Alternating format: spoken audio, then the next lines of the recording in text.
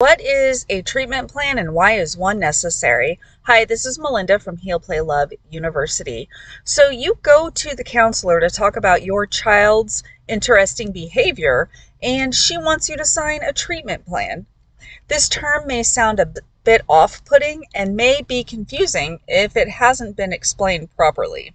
So, what is it? A treatment plan is the why you are here and what are we doing of therapy. It is a document that includes the presenting problems, goals related to addressing those problems, and interventions that will be implemented to reach those goals. It's a roadmap to help guide therapy sessions so that they are more effective in helping you do whatever it is that you want to do in therapy. It's a way for you and your therapist to stay on track and watch for progress. While you may state that your goals for therapy are just to feel better, or to stop being so anxious, or even, I don't really know, your therapist will or should help you identify the reasons for seeking services and create measurable, sometimes behaviorally based benchmarks to identify progress or lack thereof. For example, an identified problem may look like this Client presents with anger outbursts and inability to, in, to control impulses at home and at school. This will often be followed by frequency, intensity, and duration indicators such as evidenced by yelling, throwing self on floor, and kicking legs around three times per day for 30 to 45 minutes each at moderate intensity.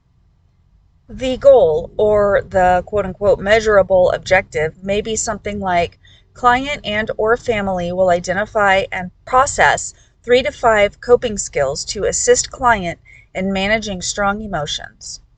Or client and or family will identify triggers to outbursts in 3 out of 5 situations or any variation applicable to family and circumstances. While this all sounds medical ish, treatment plans are not meant to pathologize or sterilize the therapeutic relationship. The actual sessions can still be warm, fuzzy, supportive, and compassionate. You won't even have to worry about the technical jargon. It's only used with these sorts of required clinical documents that allow your therapist to meet ethical, legal, and other requirements. And the why. Why do we have treatment plans? Well, to sum it up, mostly for insurance billing.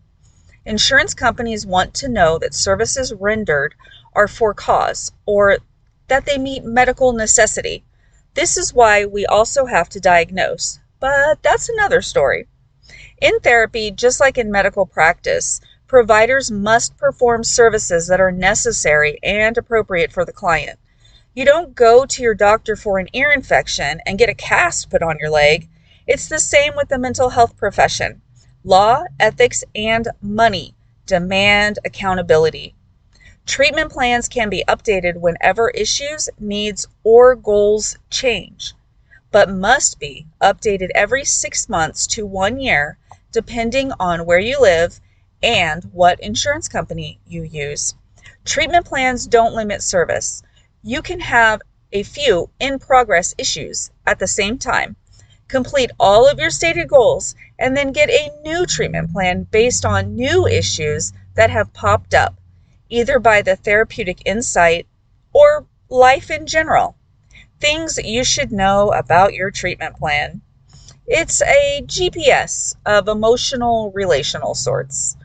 You should be a collaborative part of its creation you can ask to have things changed on it before you agree to sign or participate. You are allowed to ask questions about it and about the therapeutic process. It can and should be updated regularly. So, that is what I have about treatment plans. If you have any questions or comments, please put them in the discussion below. Please subscribe if you've liked this content. This will help us get the message out to more people who would like to hear it. Thank you so much for listening. This has been Melinda with Heal Play Love University.